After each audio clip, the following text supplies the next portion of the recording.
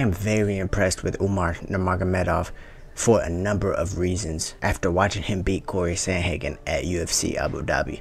And in this video, I'm going to be telling you why. What is up guys and welcome back to the channel. You're watching the daily series of Nwadei MMA where I give you my thoughts, but more importantly ask for you guys' thoughts because you guys are the MMA community and I always love to interact with you guys. Today we're going to be recapping UFC Abu Dhabi. I'm going to be breaking the card down, reacting to the fights that I watched and how everything played out but mainly I'm going to be talking about the main event in Umar Nurmagomedov versus Cory Sandhagen. So guys, thank you for tuning into the video. If you want to support the content, you're more than welcome to like this video, comment your thoughts down below as you watch along this video, and to join the Nwadei MMA family by subscribing to the channel. Now without further ado, let's go ahead and get right into the UFC Abu Dhabi recap. Now guys, I gotta say, out of all the fights I predicted, let me give myself a, a, pat on the back. I only got two of them wrong. Like I said, 100% on breakdowns, 70% on predictions.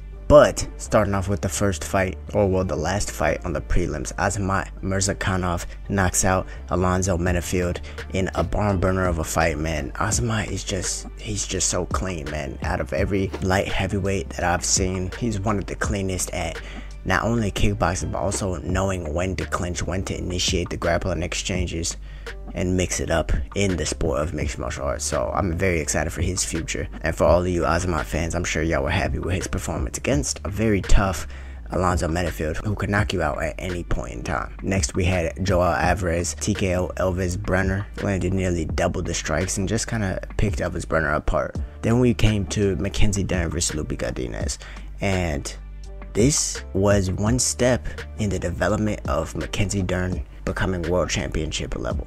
Now, she has the grappling. We all know that. She is developing the wrestling. That's a big part. But what one thing I said is that I wanted her to slow the fight down. One, obviously not get as emotional as she has in the past. And then I also wanted to see her slip strikes into takedowns.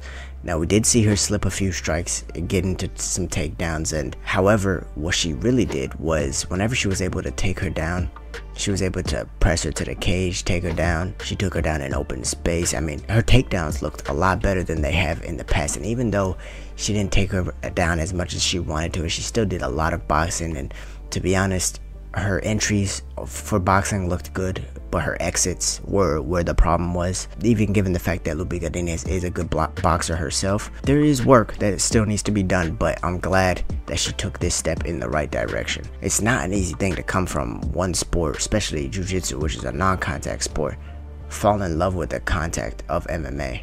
By contact, I'm meaning strikes, obviously. And then learn to actually blend the two together at the highest of level on the job, considering you're not going to get many amateur fights or local pro fights for that matter. So I'm actually very impressed with Mackenzie Dern's win, and we picked that one right. Moving on to Tony Ferguson versus Michael Chiesa. Now, Chiesa you know, that was a good performance. I didn't expect that out of him, you know, to be honest. I, I know he shies away from the striking a little bit, but I thought he would engage just a little bit more, that Tony would be able to cut him off a little bit more, but he did a good job of staying on the outside, not taking any damage, not engaging in any of the striking really. He kind of negated everything and made the first couple of minutes quite boring. Not in a bad way boring, but a good way boring. Staying safe, using good footwork, not ever getting caught up in a corner and being forced into engagement he didn't like. And then he was able to just take Tony down and choke him out. And he, the back take that he had was very slick. I'm not gonna lie, I slipped on Michael Chiesa a little bit going into this. And as far as Tony retiring or halfway retiring, I want to say that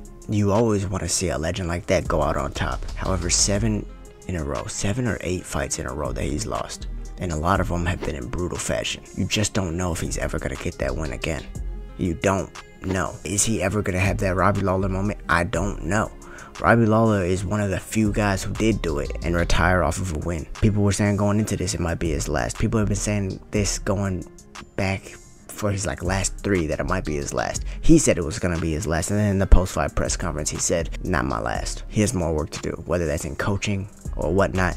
Which I don't think he should he would become a very good coach, just my honest opinion, just because of the technical deficiencies that he had over his career. I mean, don't get me wrong, he'll probably be a good coach in some areas, but I feel like he was just better being in the driver's seat of his fighting career rather than the more technical approach that it takes to be a coach. I mean, I'm always gonna watch a Tony Ferguson fight, even if he does fight again. But I'd be happy to see him hang up the gloves. I think whatever comes next for him, we'll all be excited to see what happens. However, moving on to maybe the fight of the night in Deiveson Figueiredo versus Marlon Vera. Marlon, he tried to come out hotter. He tried to come out hotter. Deiveson negated it very quick. He was able to win the first round pretty handedly, mixing in his grappling and outstriking Marlon Vera. And then the second round came along, and it seemed like Deiveson almost took it off round a little bit while Marlon Vera was doing a good job ripping the body. Marlon Vera's boxing actually looked a lot better in this fight than it has in the past. He's usually more of a kicker, but in this one, he was looking pretty sharp with his hands. And to be honest, I think he uh, he woke up in that second round. The third round came along, and Deiveson Figueiredo, it's not just the fact that he could take you down, it's the fact of what he does on the ground. His jiu-jitsu is very slick. The way he takes backs, the way he is able to move with your weight when you're trying to get up. That's the grappling you would like to see in the bantamweight division. Now, I, keep saying this whole theory, and I'm being proven right every single time. It's harder to hold these smaller guys down. That whole Dagestani style doesn't work as well in this lighter weight classes just because you had to be more technically proficient as a smaller guy, especially in the grappling aspect. But I think Deiveson did a very good job of negating all of Marlon Vera's offense in that last round and in the first round. And Deiveson Figueiredo, he's is he not a championship quality contender yet? To be honest, I don't know who should get the title shot, him or Umar Nurmagomedov. Now, Umar did have a win, and we're about to get, talk about that fight, but he did have a win over Cory Sandhagen, which is a giant deal. But I still don't know who deserves it more because that's 3-0, 3-0 for the former flyweight champion in Deiveson Figueiredo, and he's 36 years old. Umar's young, he still has time, right? Who really has the merit in this case scenario? Now moving on, Sharipov Magomedov got the win, uh, very dominant win over Mihail Oleksiejczuk. You know, actually the first round, the first round was quite difficult for him. He thought he was going to be able to use more kicks, but Mihail Oleksiejczuk kind of shut that down for the most part, pressuring him very well. And it looked like maybe Mihail, I don't know if he used too much in the first round, but it started getting a little lackluster in the second and third rounds. It seemed like he didn't have the kind of spark that he had coming out in that first round. And Sharipov just very calmly, very technically was using great footwork on the outside, stand right outside, not overcommitting on any footwork patterns not trying to rush out of the way or run away from the cage or anything like that. It was very calm kickboxing approach. And that was very good to see from Sharipov Magomedov uh, because if you are using outside footwork, kind of like Justin Gaethje did against Khabib, you will fatigue. You will get very tired.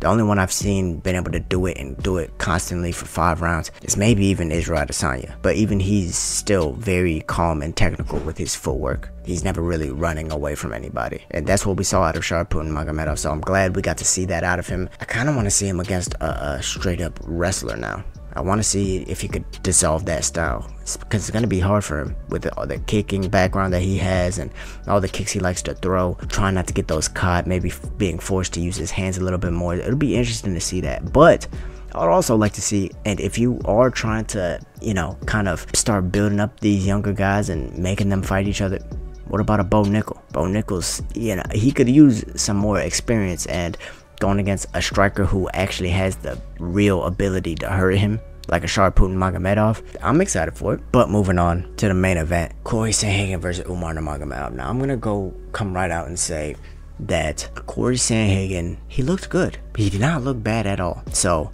all of my guys saying that he looked defeated, he looked this, he looked that. Bro, Cory Sandhagen looked good. He looked technical. He looked like everything we thought he would. But they both learned something in that fight. They both did. Umar Nurmagomedov looked fantastic as well. But the momentum of the fight is is something that's very important that we need to talk about in this one because starting off the very first round, Sandhagen won that. He denied all the wrestling attempts. He was able to land solid shots on Umar. Umar was kind of fumbling over his feet a little bit. He was attacking the legs very good against Umar. Even the second round, he was doing very well to attack the legs and all of that. Cory Sandhagen looked sharp. Nobody thought he was going to be able to grapple with Umar and the Dagestani style and Khabib's cousin and whatnot. Not here on this channel. We knew the dangers that Umar presented, but we also knew how good Cory was. Now, one thing I will say is the grappling exchanges didn't go exactly how I thought. I thought that Cory wouldn't give his back up as much. Instead, he was able to give his back up and still not let Umar completely take his back, which was good on him. I feel like he could have attacked a little bit more in the grappling scenarios, but he was kind of content on just not being got if you know what I mean by that. I actually thought that Umar would be able to get him on his back a little bit more, but because Cory's wrestling was so good, he gave up his back a little bit more often. And I thought that if the grappling exchanges played out with Cory in his guard and Umar trying to pass, that it would be more dangerous for Umar. But that's not how it went.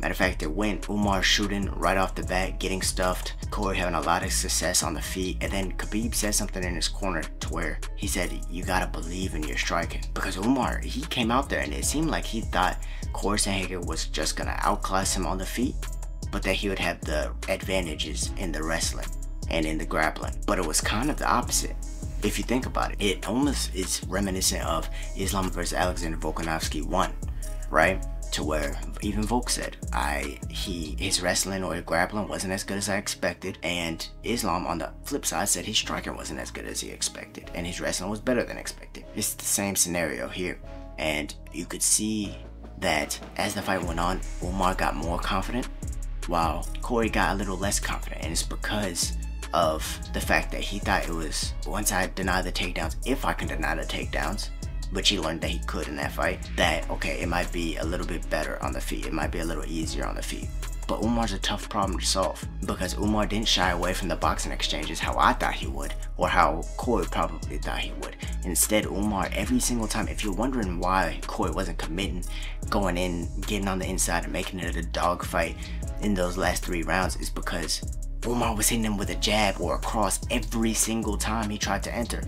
I mean, it's not like he was entering for free. Every time he tried to enter, he was eating a punch. Every time he was, and anytime he was trying to set up a combination, he was having to defend a takedown. I mean, that not only is exhausting, but it's also very discouraging. And even if you're defending everything, the one who's attacking is the one who's actually getting rewarded for the points, if that makes any sense. And so Umar's ability to learn on the job was extremely impressive for me because he hadn't had any top 10 fights up until that point and he fought the number two guy. That's crazy to me. Now we knew he had MMA experience because of his combat sambo background and Cory had a lot of fights as well. So the experiences were there, but against top flight talent on the day to be able to go from being ill confident, fumbling over your own feet to ultimate confidence and being able to dominate Cory Sandhagen for five rounds, that shit was very impressive. Now, for however impressive it was, I still think that I would give a guy like Sean O'Malley the advantage purely, again, because of not only range control, but comfortability with the hands as well. His ability to get up, his ability to tag off his best. Almost the same things I gave Cory Sandhagen the advantage for. But if they do give Umar that fight, which I think they just might do, it my my thoughts might change the closer the fight gets, and given the fact that Sean has to get through Merab. However, as far as who deserves it more out of Umar and out of Deiveson Figueiredo, I already told you, Deiveson's 36 years old. That's old for a little guy. I mean, they age quicker because they have to rely on speed and, and they have to rely on all their physical attributes that are going out of the window once you hit your 30s. And so I'm afraid that if they don't give Deiveson this title shot, if he has to win four in a row in this division after being a champion and moving up, that they might be wasting his time. And Umar, it's not like he fights extremely often. He could wait and get the title shot, or he could have another high level opponent fight him, get that experience under his belt, and really be situated for not only a title fight, but probably a favorite going into the title fight as well. What are your thoughts on that? Who do y'all think deserves the next title shot at the winner of Merab and Sean O'Malley? Were y'all impressed with Umar Nurmagomedov, did y'all also witness how he was learning on the job in that Cory Sandhagen fight? And also, what were your thoughts about Cory Sandhagen's approach? I'm interested to hear you guys' thoughts about this because personally, I think he did very well.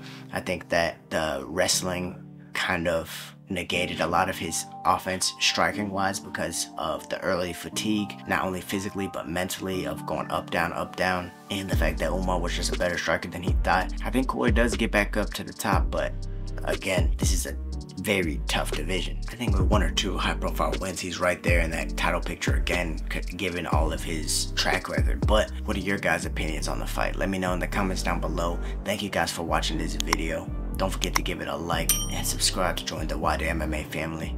And with that being said, I'll see you guys in the next one. Peace.